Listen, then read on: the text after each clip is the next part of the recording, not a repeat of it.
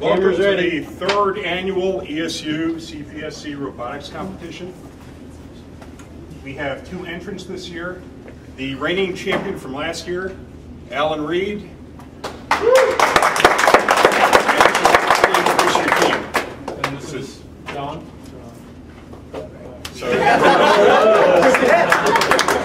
Jonathan Weber. Okay.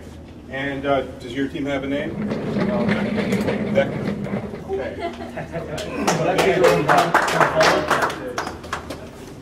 Second team is uh, led by Dan Borges. Do you want to introduce your team? Will Center for the developer and uh, Franklin.